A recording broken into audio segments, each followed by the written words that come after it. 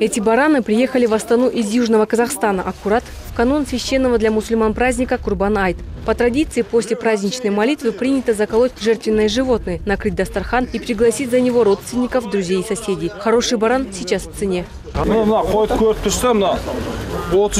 Этот баран стоит 30 тысяч тенге. Он где-то 40 килограммов весит. То есть выходит по 750-800 тенге за килограмм.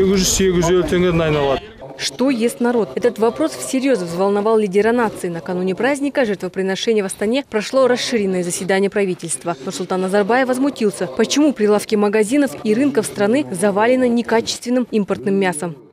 Мы находимся в таможенном союзе. Надо же разобраться. Мы не возражаем. Мясо хорошее белорусское. Они говорят, коровы отработали свое, режут и пусть казахи кушают потом. Старых коров нам подсовывают, а молодых себе оставляют. Вы знаете, что мясо старой коровы кошкам дают. Куда вы смотрите? Кто-нибудь следит за этим делом?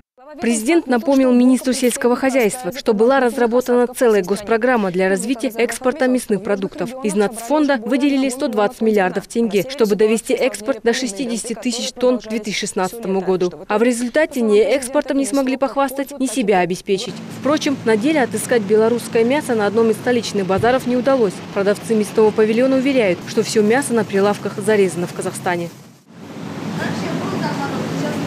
Сейчас нет, туда а чем, чем она лучше, можете сказать? Просто на замороженные. На мороженое и она дешевле, да? Да, дешевле замороженные. Понятно.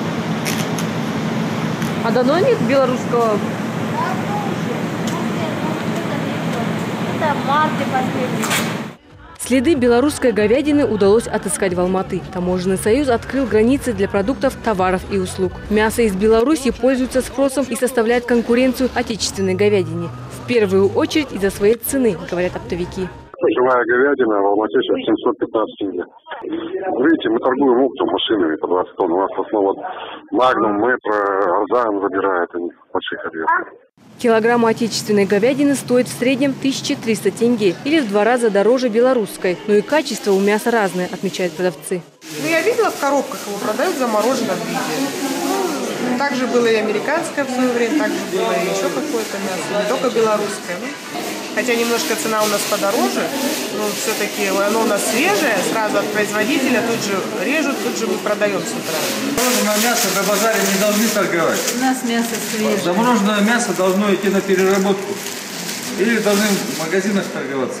На базаре мясо мы вечером режут, утром привозят свежее. В начале октября Казахстан с официальным визитом посетил глава Беларуси Александр Лукашенко. Президенты тет-а-тет обсудили вопросы взаимовыгодного сотрудничества. А еще ужинали. Что было в меню неизвестно, но кажется очевидным. Кто из двух президентов, Ельбасы или Батько, главный спец в мясном вопросе?